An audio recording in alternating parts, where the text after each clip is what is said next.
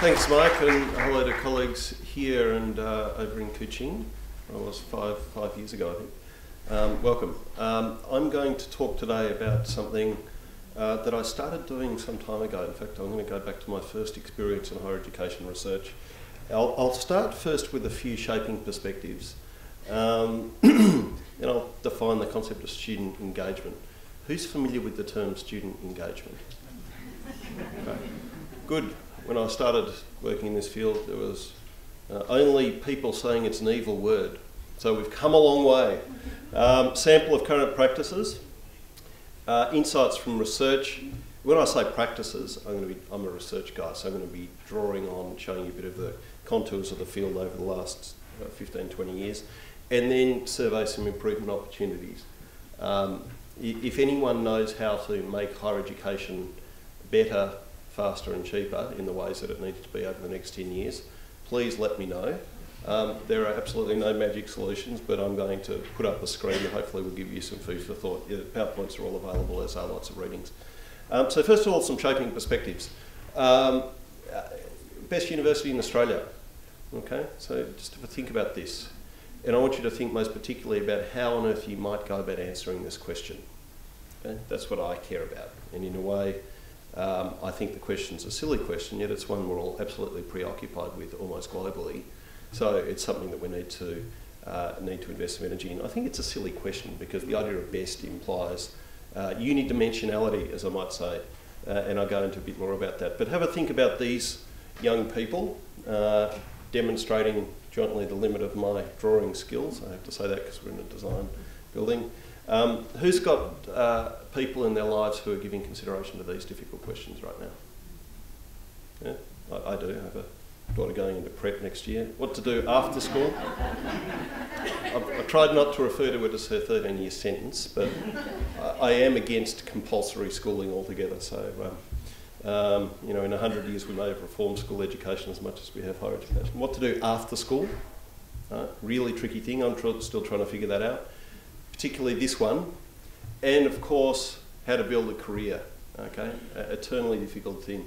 And we're just now starting to realise that the usual HR um, approach to some of these questions and, and counselling and advising approach to some of these questions just doesn't reflect the individuality or the particularity of people's lives. So along the way, I'll say in, in, in, the time that's available a few things about how we're thinking about things differently.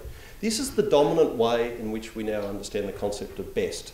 Is everyone familiar with the Shanghai ranking or the academic ranking of world university? Yeah, and everyone familiar that the way that we rate uh, education is to do with the number of Nobel Prizes and Fields Medals. Now, I've yet to see any scientific proof that that has anything to do with university education whatsoever. Uh, I think it's a huge, I, full respect to the colleagues in Shanghai who, with help from the ministry and all sorts of other things, have built this up. It's probably the best of a bad lot. Um, the sooner we get rid of this 20 year old technology, and it is about 20 years old in its design now, uh, the better off we'll be. And the sooner we move on to thinking about smarter ways of thinking about education, the better we'll be. But that infects exactly the way, you know, it goes all the way from these global conversations down to what we do in our desk. Okay, institutional strategy. You know, we can see Swinburne have undertaken reforms in the last 10 years just to perform better on these sorts of things. They really are counting, so we need to take them seriously. However, if you start to ask those sort of questions I put up before, uh, and you go to Google, and instead of typing Hamish Coates, um, I just type, type these things. Right? So I'm not going to go through them in detail, but I have put up these little images just to indicate how, how weird and wonderful this landscape is. So I'll, I'll point to a few. Um, the one in the middle there is Barack Obama's attempt to try and reform higher education. Um, college scorecard hangs on the White House webpage. Uh, there's, there's all sorts of other ones. Um, there's return on investment calculators. Um, the reason I've made them so small that you can hardly read them is just to demonstrate to, to us, we are inside this industry, we work in this field, how confusing this is. So for me, I have a three-year-old and a five-year-old child. If I was to actually say, where should I invest in their education across their lifespan, or at least for the next 20 years in which I probably will have some role in it, um, I, I, there's nothing to answer that question for me even as a, even as a person working in the field, let alone for people who have no idea. it's a really confusing field uh, for know how to invest. And I, am using the word invest in the broadest possible sense, not just a financial sense. Although if you do go to the PayScale return on investment report, you will see that Harvey Mudd College is where you should invest. Elite, anyone heard of Harvey Mudd College? Yep, you're engineers, aren't you? Yep. Uh, elite, I'm going to get this wrong, but elite engineering school somewhere in the Midwest uh, of America, Colorado or California? Colorado, yeah. Yep. Uh, 20, 20% return on investment, uh, 8% return on investment per annum over 20 years. Uh, so it's, it's, you know, as I say, when I'm in China, that's better than investing in the Chinese economy. Okay, not Harvard. That's not the best. Uh, and there's some big players in this game now. Brookings Institution, The Economist, they all have very sophisticated return on investment calculators for American colleges. As does LinkedIn for, oh, there we are, that one, for this place and the place where I work. Okay? It's a big game now, trying to rate higher education. Unfortunately, it's a failed game. And it resembles somewhat what economists refer to. Any economists here? Because that's I'm saved because my description of the market for lemons, uh, which is why I put up the used car, is, is always flawed because I'm not an economist. But basically, because we're not sending good quality information to the market, it's an asymmetric market. We have monopoly powers in large part.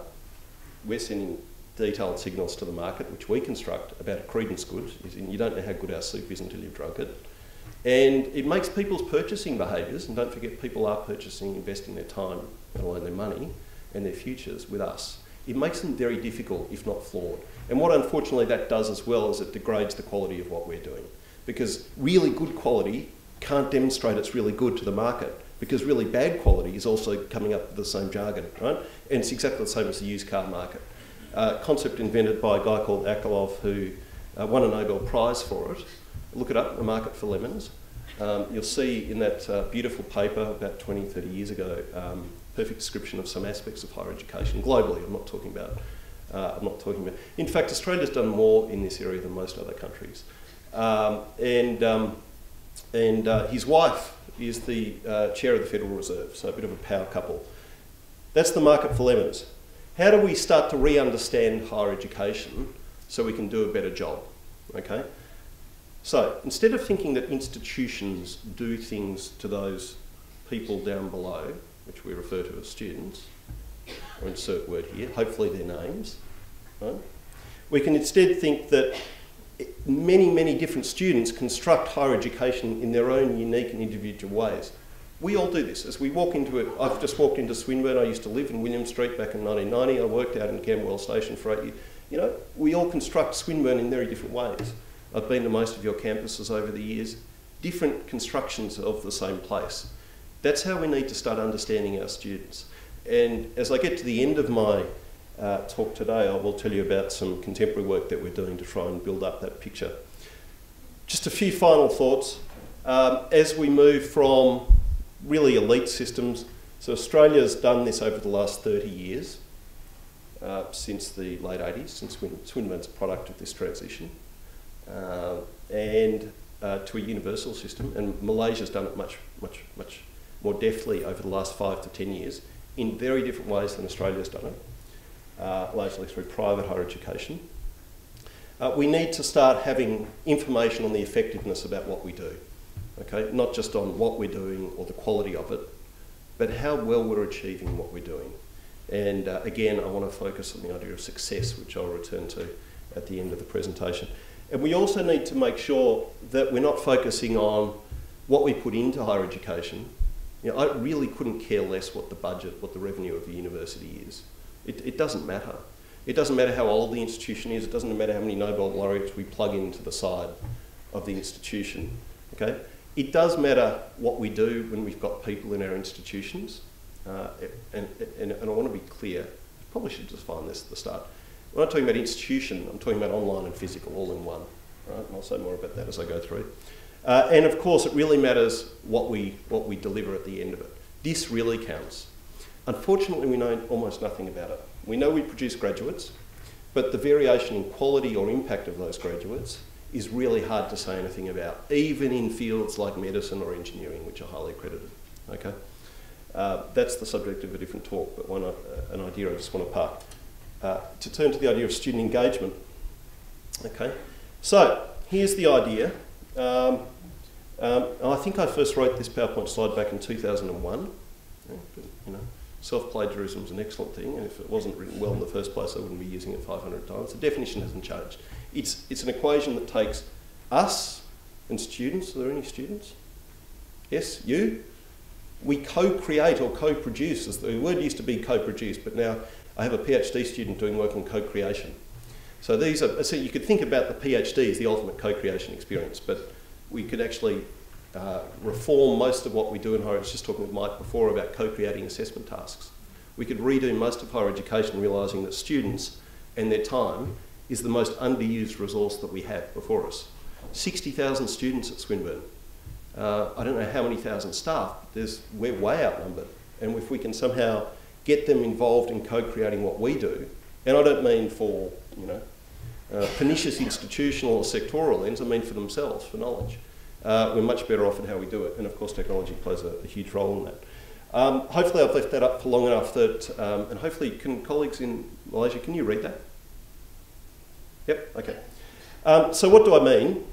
Well, here's a really general framework, uh, just to give a plug to something called Education at a Glance, which is a telephone book put out by the OECD every year, um, completely mistitled, um, that defines education in terms of outcomes, processes and inputs for individuals, teachers, providers and the systems uh, as a whole.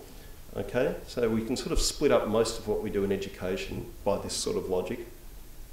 We focus on reputation, and there's nothing wrong with that. Let's, let's make the most of our excellent reputation we have in Australia and it's Australian higher education, excellent reputations that we have around the world. Um, but we need to also start to focus on what we do and how we teach as institutions, and most particularly how students come in and how they leave. And if we carve up that space into this green section here, it's what I'm broadly terming as involving what we focus on with respect to student engagement. Okay? How institutions and teachers provide supports that help students learn and engage, and things that are linked with good quality learning. Okay? We're not interested in things that we do or students do that have no effect on learning outcomes or graduate outcomes, however you talk about it.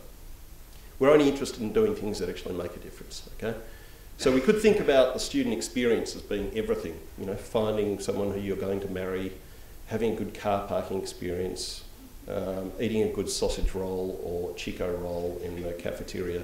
Um, but, you know, show me a scientific paper that links that with generating a graduate who gets a better job, okay, or goes on to do further study or writes better poems or the like, okay. That's what we're focused on with respect to student engagement.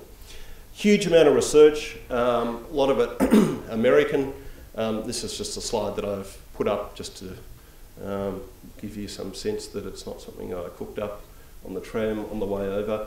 Um, but what I have become, and in a lot of these, you know, I go to America a lot, and a lot of these people are my buddies. But what I have to say is America's very different to Australia, and a lot of this stuff was done in white, liberal arts, male only, elite New England colleges back in the 1970s and 80s.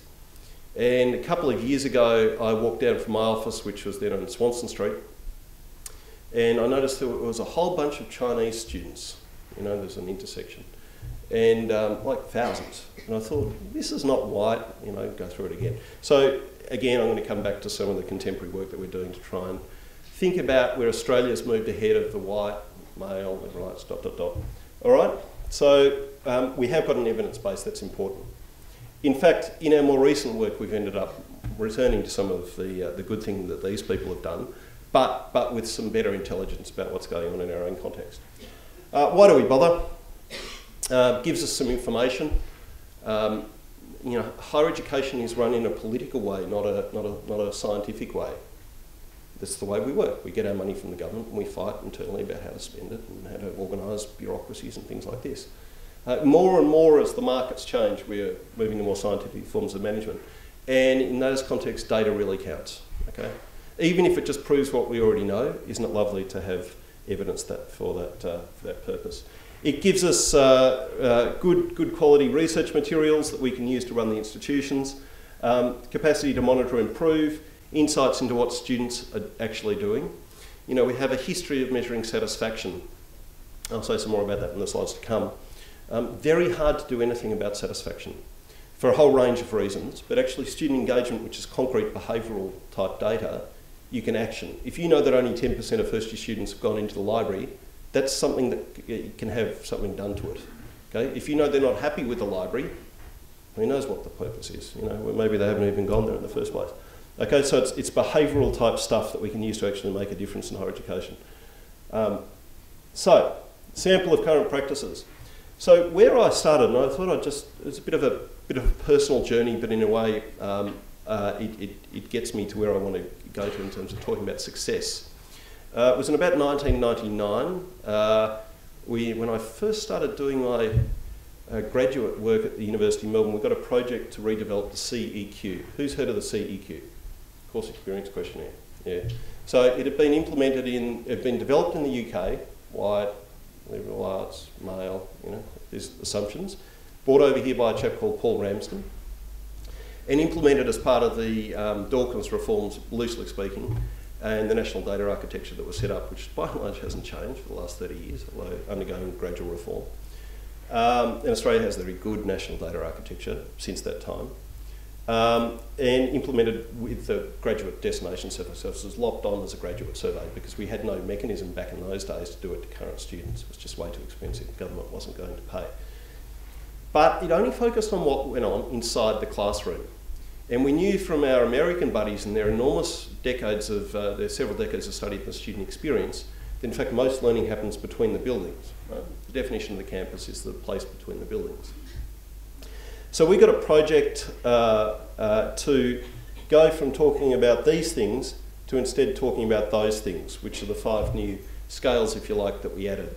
Uh, and um, for my sins, when I worked at ACER, which is up in Camberwell Station, I then had the job for several years of, of writing the national report.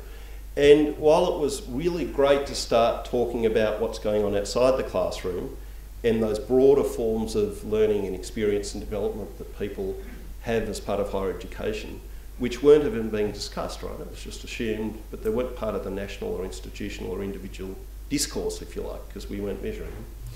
Um, gradually realised that we were still just measuring, you know, something that has strongly disagree and strongly agree, uh, and we weren't really. There was no shift. In fact, if you look at these figures, they just waft slowly upwards, which is great. Um, uh, who knows why?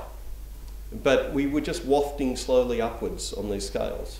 Uh, and people used to argue about the difference between a 4.35 and a 4.37.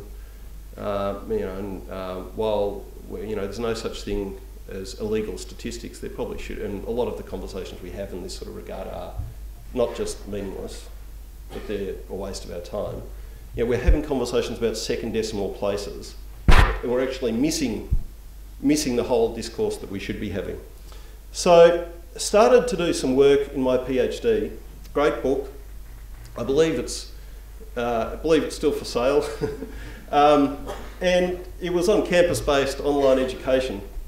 Um, you know, learning management systems were just being introduced uh, at the time to universities. We were just writing the, uh, a plan, a recommendation to the University of Melbourne as to what they should introduce. They're probably the only university at that stage that didn't have one or didn't have a centralised one, um, and came up with the idea that in fact students, I looked at how students learn on campus and then online. And when I say online, I mean campus-based online students because they're the most, that's where most online learning happens, right? What we're here talking about is blended or hybrid education.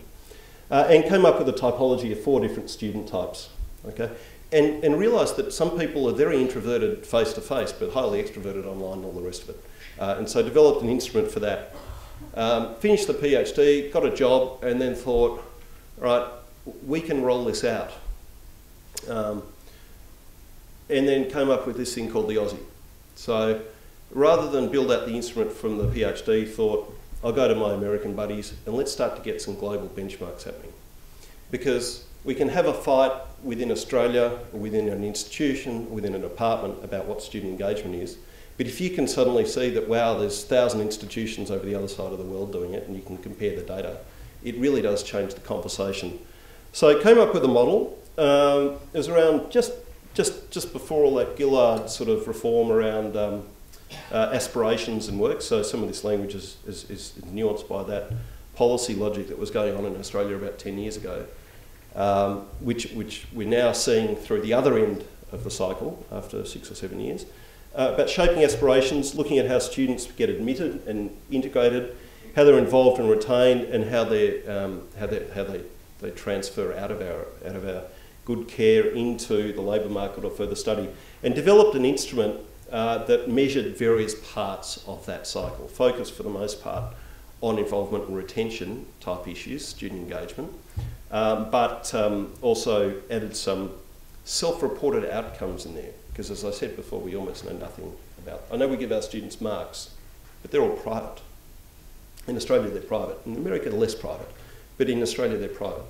And even when they're less private, still doesn't mean that they're any good. You know, they're not reliable. A GPA at one institution is not the same as a GPA at another institution. So over a period of years, we managed to scale this. Uh, and there's another book that we put out in 2014, me and Alex, who runs the American collection. Uh, and through an OECD project that I led for about five, six years, we've now gone into several different countries. And I was just having a conversation about the ISSE, the Irish Survey of Student Engagement. And they have a chapter in there. They were just finishing their first collection when we were writing the book, so they popped in uh, a chapter about the ISSE.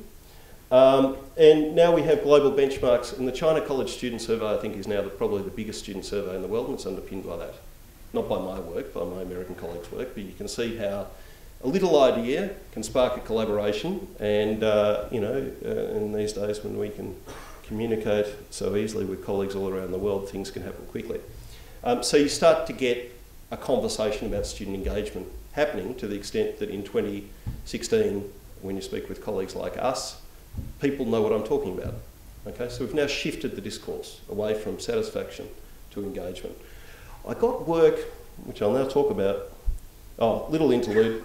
Um, developed one for the National Quality Council, which is defunct, but it used to be part of the institutional architecture of vocational education in Australia, in charge of quality. Um, you know, we've got different regulatory arrangements now, but um, there is a national instrument for um, uh, for, um, for, for, for um, youth in VET in Australia, uh, in which I snuck this in. Very controversial. You know, I remember sitting around with the people who are in charge of licensed trades and they would say, why don't we, why do we care about that? Anyway, so that was good. We got that in. So there is, all of a sudden I realised, right, we've now got data across the education spectrum because of course there's also some data on student engagement in schools. I don't think that's mandatory anymore, but it's around. And I was up in Canberra on Friday, and they keep having new thoughts about, about having data collections. Um, around about 2010, the government thought we need some more data because this satisfaction stuff isn't working for us anymore. um, and we want to, like, there was 40 universities and a bunch of other providers doing the AUSSE. Uh, and so they paid us to develop what became known as the University Experience Survey, uh, in which we developed, we sort of got an opportunity to say, well, that engagement stuff's great. We've got the satisfaction stuff. You know, you, in a lot of ways, when you look at what Australia does, we get stuff from America, stuff from Europe, and stuff from Asia, and we sort of make it Australian. And all you have to do is walk down and see the mix of restaurants down in uh, Glenferrie Road, and it's the same deal in a different area. And it was great. We stood back and we said, what really counts in terms of understanding how students experience and succeed in higher education? And took a fresh look First of all, they need to be included, supported, taught, then they engage, and then finally they develop. No? Not rocket science. And as a result of that, we developed an instrument which we could then run with every higher education provider as it now is, but back then with every university uh, on behalf of the government. Uh, and with some regret, uh, what happens when things are mandated by government in Australia is people don't like doing them. So all of the great conversation and research and workshops and conferences that we had around the AUSSE, I don't think happen in this space anymore um, at all. Uh, it's just a compliance exercise. Um, but uh, that doesn't mean we don't have great quality data floating around. Now, if you haven't seen it, go to www.qilt.edu.au. It's all reported online. Uh, I think the website needs a fair bit of work. Uh, I have recently asked how many students have clicked on that website to help them make that education investment decision and um, haven't been able to get an answer.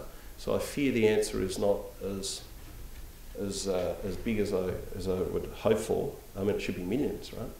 But um, at least we are putting, as I said, in Australia, we are putting information in these core areas out there for the public to consume about what we do. That improves what we do because places that do it really well, like Swinburne, get known for doing it really well. And then people, there's a virtuous cycle. Right? So it's a, it's, a, it's a good thing. It's now known as the, um, the Student Experience Survey because um, it in includes non-universities, uh, providers who aren't universities. Uh, two years ago, decided that surveys were dead. Um, they pretty much are. You know, my, my, phone knows that I'm here with you. Um, all the rest of it, it doesn't have to rely on me.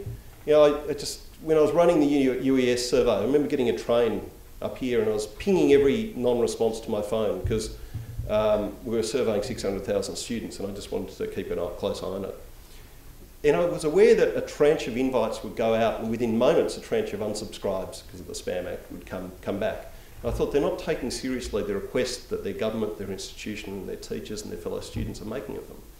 In fact, I don't know, if you ask 100 people, 20 respond, and of that the R squared is about 5 to 10 statistically. I can explain about 5 to 10% of the variation. I'm not having a conversation with the people with whom I'm trying to have a conversation about improving and doing education better. So we need to do something fundamentally different. The technology isn't working for us. We've got all this lovely data floating around. And at the same time, we're using these constructs to understand students and teachers and all the rest of it that come from 1975 uh, New England. So we got some money from the government uh, when the OLT still existed uh, to do a project on student success. Now in Australia we don't actually have a way of defining student success. Strange as it may seem. We define student success focused for the most part on disadvantaged students, where we do have an equity framework, which has a success measure, on getting at least 51% in a subject, graduating, and a few other little measures like that, but nothing like what we would understand to be student success. So we thought, let's look at this, this matter positively, and we came up with a, a, uh, a, definition of student success. It's, it's too small to be read, but there are nine qualities there and the report will be out soon. And the idea of intersectionality, which is this strange duck-like shape on the side here, is really, really important. What that means is if, you know, I'm, I'm a product not of being male, this tall, um, Caucasian, dot, dot, dot, dot, dot.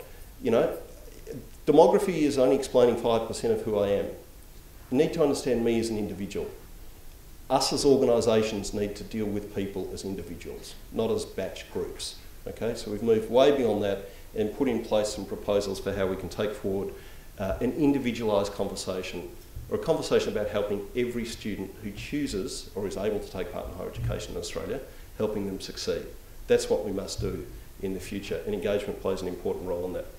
How are we going to do it? Well, we need to mop up all of this kind of, I call it found data. Easier said than done because of our systems, often legacy systems in higher education. Convert metrics into dashboards, and then, of course, the really tricky part, how we stage interventions as a result of that. So I'm going to skirt quickly through a few results to prove some points. Pardon me. but before I do that, I just want to take a little segue and talk about community co-creation. Because there's an aspect of engagement that has nothing to do with engaging students. It's about getting them out there in the community. Okay? There's a whole other side of that work uh, that we could talk about in another conversation, uh, which I won't, uh, I won't delve into today. Uh, but it's growing massively, and particularly for an institution like Swinburne that has an excellent reputation for engagement with community, with industry, etc., etc.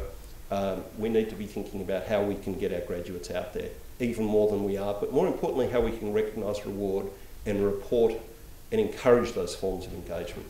Okay? And a lot of that's happening through different conversations about engagement. I've just put up here a uh, template of the Global Reporting Initiative, which is primarily the way that organisations around the world do triple bottom line reporting, which can give us some clues on the way forward there. A little segue. Okay, some insights from research, and then I'll and then I'll sum up. Um, I will just pass quickly through some of these slides, um, but they do give us a sense as to the value of asking uh, some of these questions. You know, um, there's quite a divergence when we ask students and staff some of these things, and they can lead to some very interesting conversations. These are all things you can do in your own teaching. Um, headline departure intention rates, At the start of the AUSSE, I put in a question, uh, have you thought seriously about discontinuing your university studies before graduation or your studies before graduation? Uh, fed that through these different surveys, so it's now national data collection. Don't know, we don't quite know what happened there, but actually that's a really good news story for Australia when you think about it. Look at that. We're doing something right, okay? We're actually stopping students from wanting to leave. Don't know how, although I suspect uh, it has something to do with what I'll talk about in the next couple of minutes. And I put in a bunch of options, which are also, uh, uh, you can, student can write their own, uh, which we analysed. Uh, we actually got them off the initial responses, you know. Um, health, personal factors are huge. Uh, personal, you know, health, stress, work, family conflicts, um, you know, the structural things like families moving interstate, that's one thing, but the personal factors, and we can do something about that. Uh, we can do something, but we need to understand people as individuals, not as groups. And we can't just focus on the top or the bottom ends of our student distributions. It's, it's the people all across as individuals. Um, asked a lot of questions like this. I'm not going to pause on these for too long, um, but you can start to see um, if you have many institutions, you know, that institution or teacher might want to have a conversation with that one there, you know. So we get some information that we can use to have some pretty informed conversations. We can look at how lazy some of our students are. Um, there's a, a metric that says we should spend twice as long outside of class as we are in class. It's a rule of an educational rule of thumb, if you like. And if you actually look at the proportion of Australian students that are doing that, 27%. Okay? So, how can we engage them more in just spending some more time on, on task. Um, we can start to make comparisons between students and staff. Uh, we developed a staff version of the instrument, more or less asking staff what they expected their students should be doing, which we could then compare against the actuals, which is the figures uh, that I'm putting up now. You can see quite a divergence. That's the space in which we need to have a conversation uh, to get both parties onto a better page. Uh, we can compare benchmarks across institutions. Um, so here are some Australian and New Zealand institutions. Um, uh, I de-identified them because I took them off my own data. This is data I prepared for the Commonwealth. It was the only data on education they had to compare Australian education with education in benchmark countries, other than just numbers. It was quite startling. This is only 2010. Um, the situation hasn't changed. Uh, so you can start to see something's happening at these places, okay? uh, and you might want to reach out and have a conversation with those people. Low use of supports, right? You can get a sense of how students are actually using things that are funded by the institution, and we presume they are using. Uh, if they're talking with careers advisors, etc. Uh, and if you divide up one of the scales that we constructed from the AUSSE survey with supportive learning environment, if you divide that up by whether or not they say they're going to depart before their time is due, you can see quite a big divergence, right? So support started to stick out, as did enriching experiences. Okay? Here, the students that have done an industry placement are showing high levels of engagement on every, on every dimension of engagement, higher scores on every dimension of engagement. So the moral of the story, uh, which if you want to read the book, is produced by a guy called Graham Little, uh, who wrote a book called Faces on Campus back in the 70s, is that high challenge, high support is what creates what we call a cultivating or enriching environment. That's really important. High challenge, high support. and just to be clear, I don't mean training, it's there his terms, but we don't mean training as in vocational education training. We mean a training like environment. Even in VET, of course, we should have cultivating and enriching environments. Okay? Uh, that's the key to keeping students engaged through to graduation. Improvement opportunities, well, the most important one uh, is to not do this. Okay? That's what we might call a broken improvement cycle. But it's how high it's the default option. And we've often had no choice because we just haven't had data available. Um, but our banks don't even work that badly anymore. We need to do a lot better to improve, and we're getting there in higher education so that we can join up the loop and actually do tomorrow better than today. And how do we go about doing that? Well, these are just a few snippets of ideas that I've collected uh, over the uh, over the period. Um, I'm not going to talk through them in any detail, but I'll just put them up so you can have a look. Maybe one of them might give you a little thought that you can take away. Uh, but if you are keen on following up any particular area, do let me know, and I will um, I'll, I'll try and send you some publications. The outcome of the work that we've just delivered to the Commonwealth is to put in place a leadership architecture. And what we've basically said is there are nine qualities for success. Doesn't matter how you experience higher education in what field. We've tested these across Australia. Uh, we then need to put in place the data, the leadership, and our understanding of success to affirm those nine qualities. And we need to audit our educational organisations and environments to make sure that we have the conditions that are going to support students in doing that. So, if you like, some sort of architecture for helping us go about finding out whether or not we've got the conditions uh, to help students engage and succeed. I'll leave it at that. Thanks.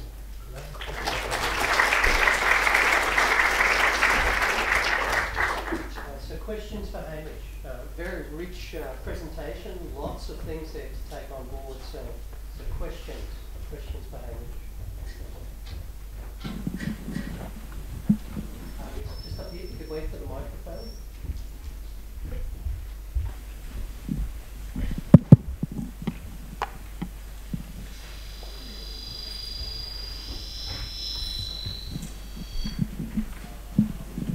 Nicholas Haritos, uh, retired academic.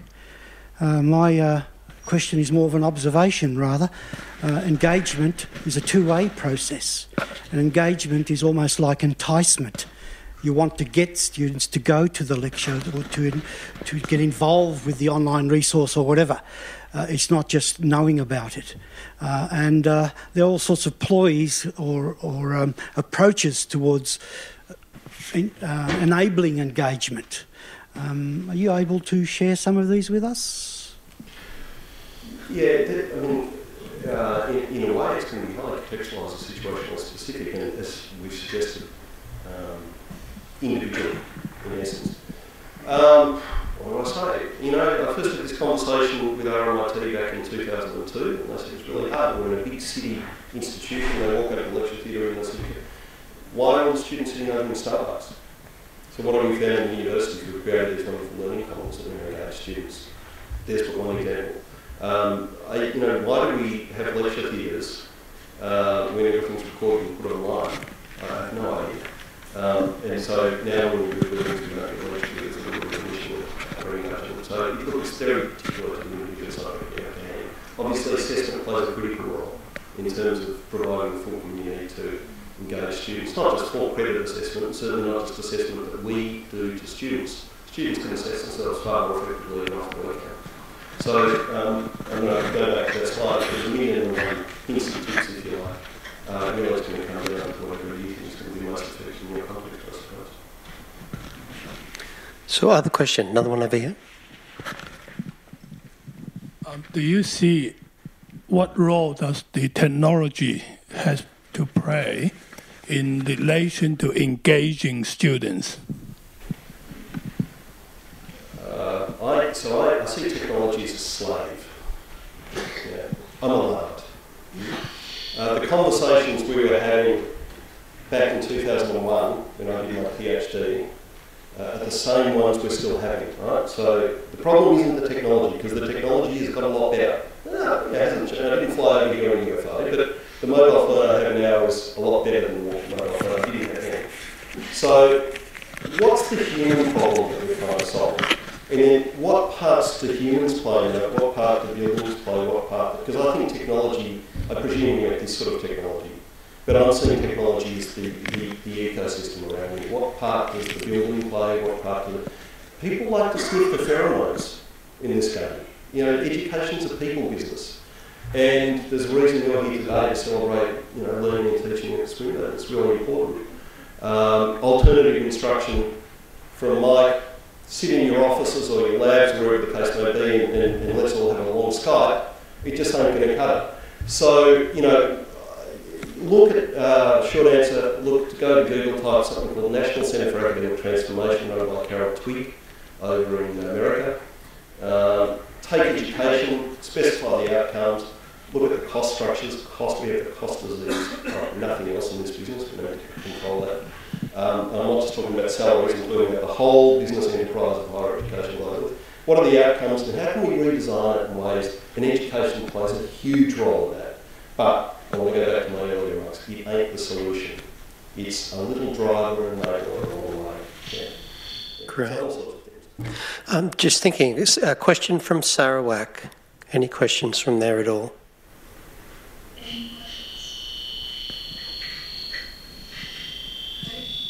Okay, I have the privilege of seeing. Uh, yeah, there's a question, question there. Yeah, go ahead. Yeah. One question, yes, yes, ma'am. Hi, I'm Heidi. Um, so you were talking about here, there, the, the high challenge and high support leading to the, the high engagement. Then you were talking about the gap between the, the staff expectations and the student expectations. Where, where do you see the gaps, and the, the gaps that we need to address in terms of the support that students are wanting? What are we offering and, and what are they wanting and where does that gap come? Um, uh, and so I'm speaking sort of in terms of the method or the approach we might use to answer that question because I'm not so familiar with the local context in Kuching, which I only spent three days. Um, the, uh, you know, we need to understand every person on their merits and their terms. And I just go, I mean, my bank does that for me on my phone. So if you can, I'm not, not pro-bank, you know, I'm not anti-higher education, but just saying in terms of service industries, higher education has a huge way to go in terms understanding people and their merits. So, what's a really easy, we've got to focus on every person as an individual. What's a really easy way of doing that? Divide the number of students by the number of staff, and staff can spend five minutes on the phone calling all the students. Who are you? How can I help you learn? Uh, as one of the vice chancellor said to me recently, the problem with that is there are staff I wouldn't want to call the students. So there, there you have there you have a problem that needs to be solved. But finding out what each student wants to get out of higher education. Um, I'll give you another example. Uh, when my three-year-old daughter turns over a shell in a rock pool, um, you know, I post something on Instagram or whatever the case may be. Why doesn't, or Twitter, why doesn't the university contact and say, has she thought about marine biology during this time? You know, um, so there's, there's, there's, it's, it's about really looking at the individual. Uh, the batch isn't good enough anymore. Yeah. Now, how do you do that? That's, that's tough. We need to get a lot better at that. Some of it is technology, some of it's just interpersonal conversations. Getting academics involved in admissions. No, great question there. So thank you very much there. We'll have to leave it there. So put your hands together once again for Hamish. That's all. Hamish. That was wonderful.